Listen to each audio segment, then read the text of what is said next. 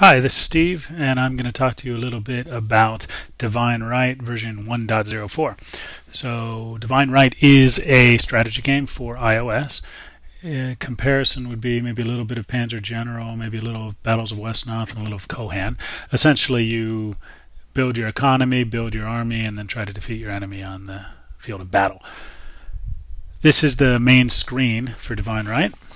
As you can see, you have options um, for up to four players and the scoundrel. Um, I don't know what we want to do with the scoundrel. Maybe we'll keep him not playing for now. So team one, human, that could be me. Team two, computer, that could be the computer. Uh, maybe I'll take an ally. So I have team one computer, and I'll give him an ally, which would be a team two computer. I can change whether I want a man, uh, random or a default map. Change the size of the map. We'll go with a relatively small size. The computer gold right here determines, well, basically the computer advantage. And that looks about right for a couple turns just to show you some features. So here's the main screen. This is my first castle, Ducal Camp. This is the economy screen. Um, here you manage how much food, material, or gold you produce.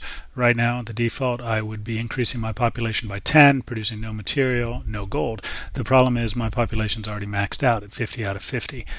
This button over here would allow me to upgrade my castle, which is something you definitely want to do. But when I press it, I get told to select the focus. The focus is something new in 1.04, and here you determine what you want the castle to focus on. This doesn't make it less effective at the other things it does, it simply makes it better at one thing. Martial would make better units, farming uh, makes you produce more food, hence grow your population faster. Material, you build more material, gold, you build more gold to start this, I think I'm going to go farming because people are very, very important, and I will upgrade my castle because I have enough money. There we go. When I upgrade the castle, you see the visibility range of my castle increases. It'll keep doing that as it expands. And you see where I was a plus 10 people, now I'm plus 20 people because my farming has become more effective. Right now, however, I don't really think that farming is the only thing that's important. So I'm going to try to get some gold in my pocket and I need to create a unit so I can see what's going on. So you can see there's a lot of black space right now. You can see my colleague, my ally right here. He hasn't had his turn yet, but all that black space between us is a little bit dangerous. On this map size, I'm not sure whether I'm going to have time to build or space to build another castle. Uh, we'll find that out in a minute. What I'm going to do right now is just build an unarmored so basically no armor, cheap pike unit, basically a guy carrying a nice big stick. He's relatively cheap to build at 12 gold and relatively cheap to maintain at 2 material. So I will recruit him. When he's recruited, he can't do anything for a turn. You can click on him, he's first pike, but he can't explore until the next turn. So press end, now we get to see everybody else doing their turns. You can see my friend, he's built a whole bunch of of horsemen to run around and explore the map, which is a very smart thing to do. Each one of the AIs has their own unique personality and strategy. So playing one is not the same as playing the other. Some are better than others, um, and some it really depends on the situation. So here we are with my unit. I'm going to start wandering down to see what I can find and take another look at my economy. As my population grows, um, I can produce more. So getting your population near that max is very important. Also, when you build units, you decrease your population by about five. So you know it's a it's a balance. Right now, our economy is minus two, which isn't enough to worry about. And I think I may just go another turn before I do anything else. Ah, the enemy. So it looks like the scouts from my ally have found the scouts for the prince. And I assume they're going to start fighting, that tells me that the prince is probably down here. But it also, ah, there we go. Now, this is important. He's already upgraded that castle, but by standing there, I put the castle under under siege, which is going to stop him from being able to um, automatically repair units when they're within the adjacent squares.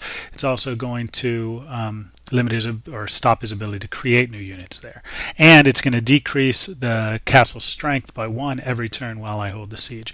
Although I fear that little guy is not going to be enough to hold the siege for a while. So I will try to build something else, maybe something a little bit stronger, although I don't really have any money. Um, so I've picked the weapon Morningstar, which is a bonus against castles because I'm planning on doing a siege, and I can afford light armor. Might even be able to afford medium. Nope. I can form light armor. I can manage the armor um, through head, chest, legs, hands, or I can press the armor set button. You'll find yourself pressing the armor set button a lot and then just modifying it a little to get something you can afford or something that has the specs that you like. So I'll recruit that and present turn. He's upgraded that again. If we can take that castle, we would be in, in tremendous shape because that looks like a, a two upgrade castle to me. Plus, I'm interested to know what kind of focus it has. Over here, my man has, looks like he's lost a unit. He's built a couple more. It might keep him busy for a while. We'll see.